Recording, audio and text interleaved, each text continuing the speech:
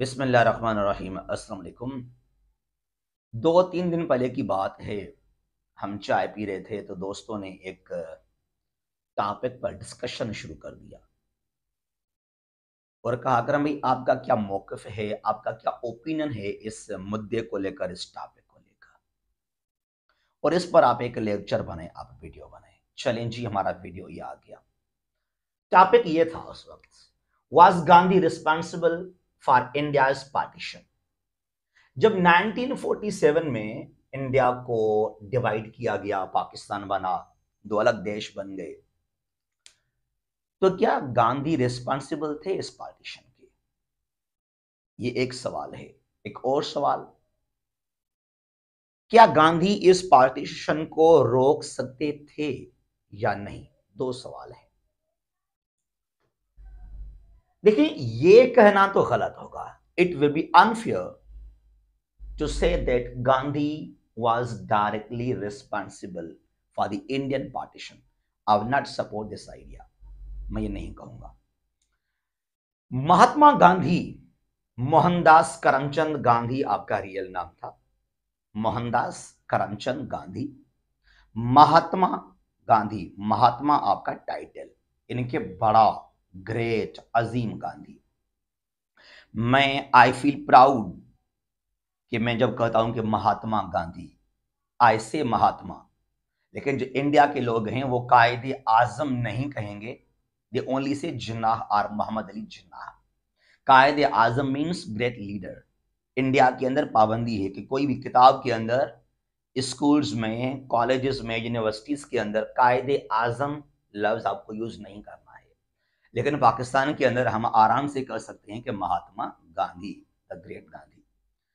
तो in the Indian subcontinent history there are some names like Jinnah Gandhi Maulana Azad sir Syed Ahmad Khan they are सब prominent हाँ आप इख्तलाफात रख सकते हैं सियासी लिहाज से, लेकिन जिनके कंट्रीब्यूशन इंडिया के लिए, बड़े सगीर के लिए, उनको आप रिजेक्ट इग्नोर नहीं कर सकते I strongly, I massively support and respect Mahatma Gandhi मैं बहुत इज़्ज़त करता हूँ महात्मा गांधी का। अच्छा जी तो ये कहना तो गलत है कि गांधी की वजह से इंडिया का पार्टीशन हुआ। गांधी ने इंडिया को डिवाइड किया ये कहना गलत होगा।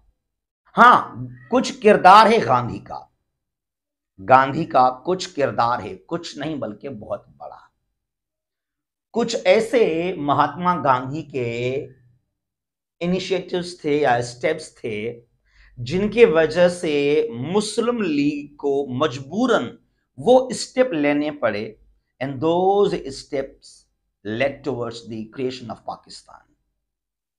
जो कुछ गांधी का नेगेटिव एटीट्यूड था, गलत रवैया था towards Muslim League towards Jinnah that force Jinnah to demand to struggle for separation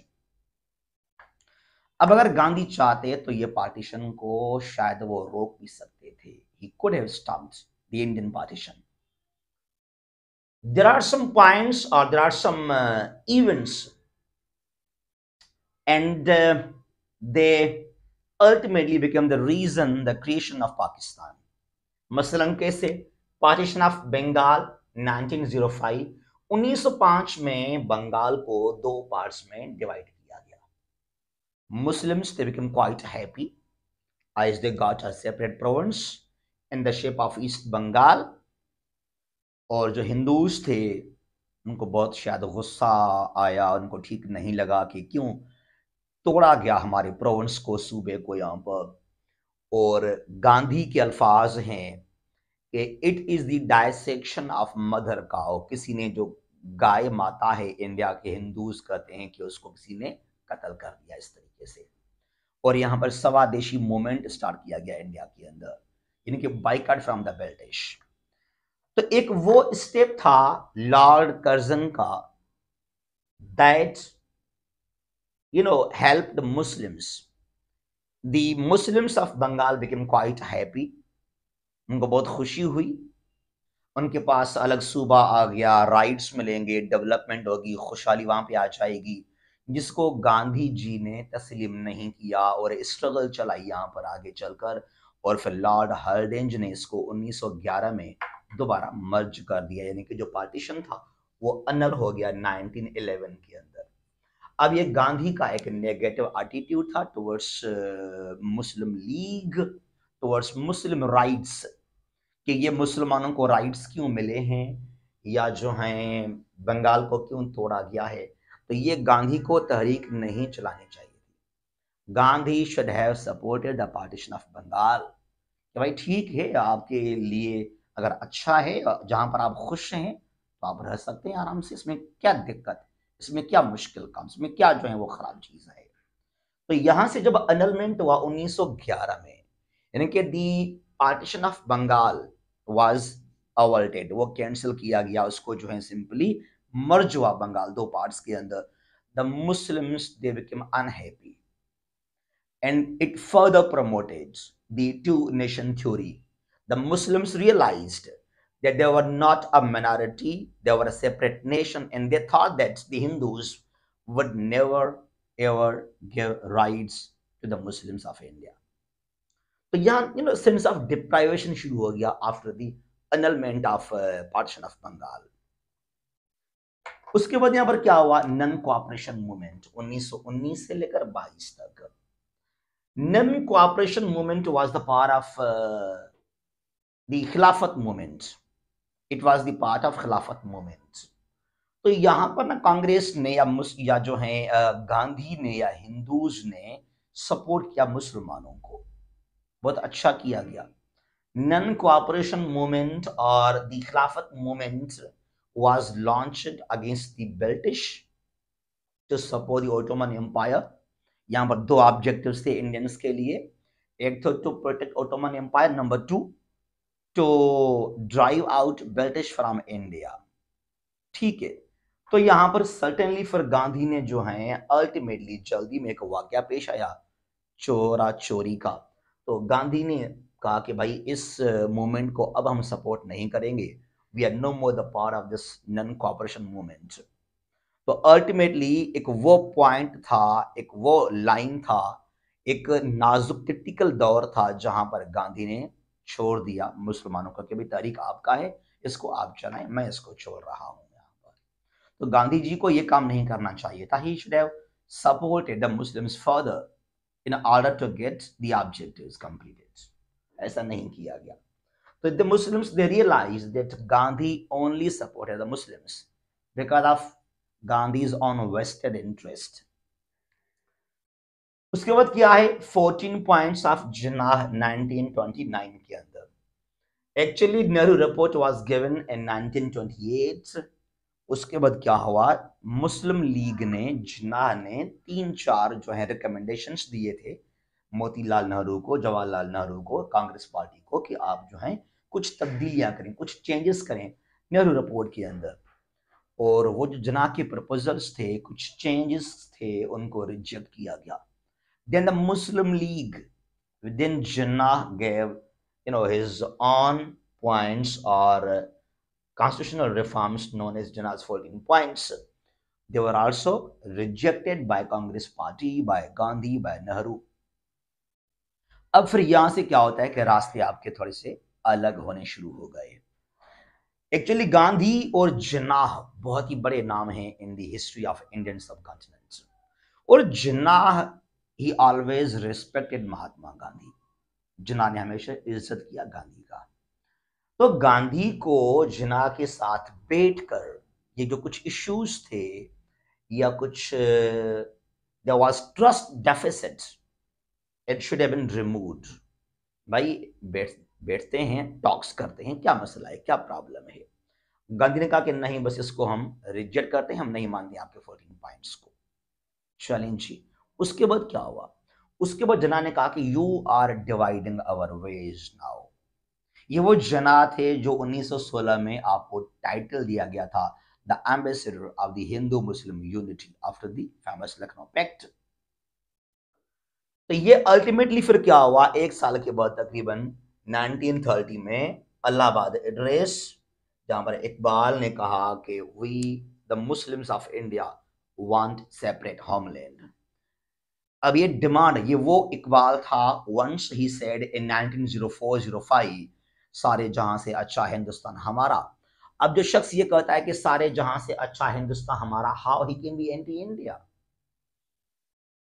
जिसके पास सेंटिमेंट्स थे इंडियन नेशनलिज्म का, उसने कहा कि इंडिया को डिवाइड कर लें। क्यों? क्योंकि कुछ कंडीशंस कुछ हालात ऐसे क्रिएट किए गए इंडिया के अंदर मुसलमानों के लिए। Then you know ultimately the Muslims the demand was about separation तो यहाँ पर अल्लाहबाद एड्रेस आ गया और यहाँ भी गांधी ने रियलाइज़ नहीं किया कि भाई क्यों ऐसा हो रहा है। ये वही इकबाल है, जो बड़ा पेट्रोटिज्म पेट्रोटिक इंडियन था, ये वही जो है जना है, जिसको लोगों ने कहा, सरोजनी नायडू ने कहा कि the ambassador of the Hindu Muslim unity तो भाई, ये कैसे इंडिया को तोड़ने की बात करते हैं? गांधी शुड रियलाइज़ दैट लेकिन गांधी को वही अपना एटीट्यूड कि नहीं, हमारी मर्ज़ी है। इंडिया में एक पॉलिटिकल पार्टी है वह कांग्रेस पार्टी, और एक ही कॉम है नेशन है वो है हिंदूज। जो बाकी लोग हैं वो है माइनॉरिटीज के अंदर। फिर यहाँ पर क्या होता है? फिर आता है राउंड टेबल कॉन्फ्रेंसेस लंदन में लॉर्ड इरविन ने बुलाया था ये। राउंड टेबल फ़र्स्ट में तो कांग्रेस के लीडर्स नहीं थे, और जब गांधी इरविन पैक्ट साइन किया गया तो उसके बाद जो है Congress participated in second round table conference और जहाँ गांधी ने ओपनली कहा बेल्टिश को कि no need to call here the other Indian political parties and political leaders like Muslim League and Jinnah.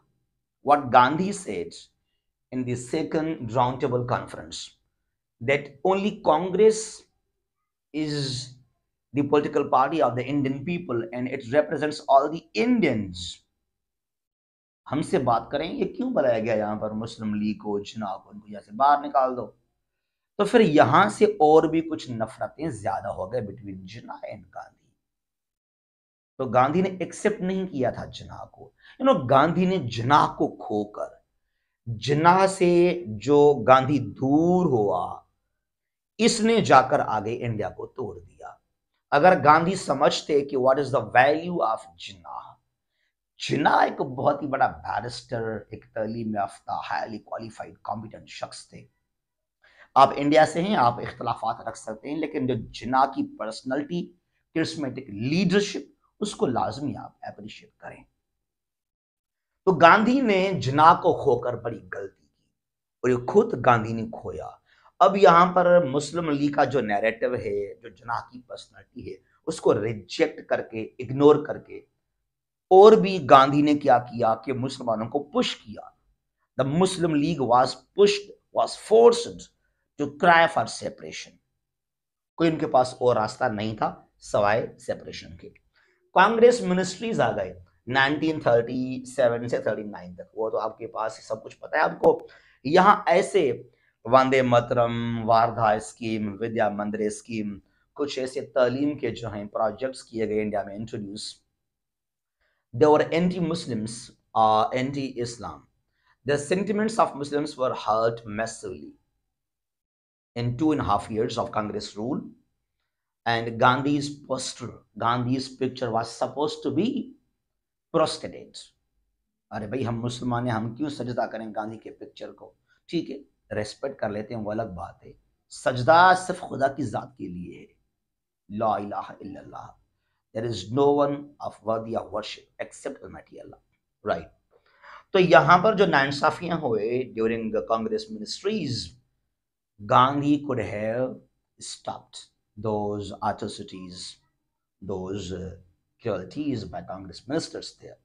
Gandhi ने तमाशा देखा यहाँ पर भी और ये जो दो ढाई साल थे कांग्रेस मिनिस्ट्रीज के अंदर जैसे ये डिजोल्व हुए खत्म हुए वर्ल्ड वार टू के दौरान तो 22 दिसंबर 39 को the day of deliverance was observe in India by the Muslims mainly by Muslim League उसके बाद पास किया गया लाहौर रेजोल्यूशन 1940 के अंदर, और जहाँ पर फार्मली तौर पर एक अलग देश की बात की गई। आगे चलकर, अब जब लाहौर में 1940 की बात है, जब ये देखा गांधी ने, भाई ये क्या हो गया? पूरे इंडिया से, चाहे सिंध हो, बलोचिस्तान हो क्या पीके हो, बंगाल हो, पूरे इंडिया से मुसलमान आकर इकट्ठा हुए लाहौर के अंदर, और एक रेजोल्यूशन एडॉप्ट किया गया यूनानिमसली अब नाउ गांधी फेल्ड के the conditions are going away they are out of control now Jinnah कुछ अलग कर रहा है। अब क्या करना चाहिए? अब सोचा, now Gandhi realized that he was wrong jana was right. Now gandhi started to be, to to become closer with jinnah कि कैसे क्लोज हो जाएँ, जो दूरियाँ हैं नफरतें हैं डिफरेंस हो गए हैं, उनको कैसे खत्म किया जाए?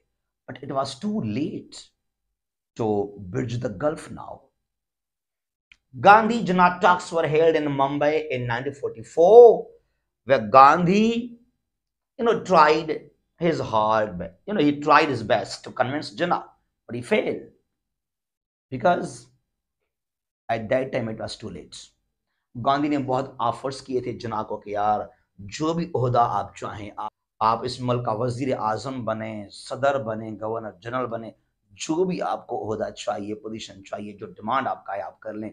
जो आपके 14 पॉइंट्स हैं उनको हम मानने के लिए तैयार हैं बस आप क्या करें। ये जो पार्टीशन का ये जो तहरीक चला या डिमांड किया इसको छोड़ दें आप। हम कट्ठे मिलकर रह सकते हैं टू लेट नाउ तो गांधी को 1940 के बाद रियलाइज़ हुआ कि मैं गलत था जना वाज राइट तो ये जो गांधी के कुछ एटीट्यूड कुछ कारनामे या कुछ गलत रोल था गांधी ने, ये सोचा कि बस कांग्रेस पार्टी है, मुस्लिम लीग है ही नहीं। ये जो गांधी के कुछ गलत स्टेप थे they forced Muslims to you know struggle for partition to cry for the creation of Pakistan for separate country तो मजबूर होकर जनाह ने या इकबाल ने डिमांड किया, तहरीक चलाई, आज़ादी के लिए। अदरवाइज़ अगर गांधी जो हैं, पहले सोचते कि यार मैं क्या कर रहा हूँ तो शायद वो इंडिया के पार्टीशन को डेवर कर सकते थे। और ये मैं नहीं कह रहा, जसवंत सिंह का किताब है, जसवंत सिंह जिसने 2009 में किताब लिखा है। उसको लाजमी आप पढ़िएगा।